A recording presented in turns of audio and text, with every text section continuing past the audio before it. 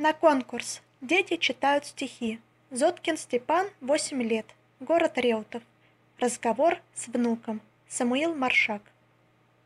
Позвал я внука со двора к открытому окну. Во что идет у вас игра? В подводную войну. Войну? К чему тебе война? Послушай, командир, война народам не нужна. Играйте лучше в мир. Ушел он, выслушав ответ.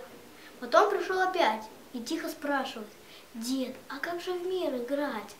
Ловя известие, что с утра передавал эфир, я думал, перестать, пора играть с войной, что детвора играть училась в мир.